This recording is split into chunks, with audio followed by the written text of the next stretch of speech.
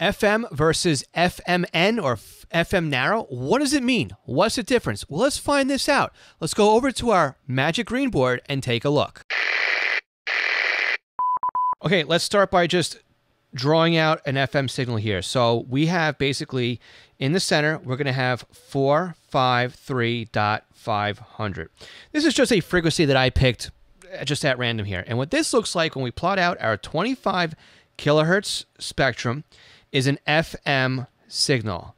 This takes up full 25 kilohertz, which means on the low end, we have 453.250, and on the upper end, we have 453.750. Okay, and again, the center of this frequency is 453.500. Now, when it comes to FM narrow, we are splitting this in half, which basically means we take this part of the FM signal and this part of the FM signal.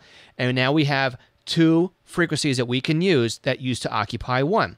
So now again, the center of this comes down here and is 453.4375 and the center here is 453.4625.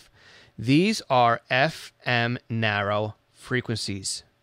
And now today they are taking this narrow band and they are splitting it a half again as a 6.25 kilohertz spacing signal, which is now the new narrowband. If you like these two minute tech tips, be sure you subscribe to this channel because every week we'll drop another two minute tech tip. Thanks again.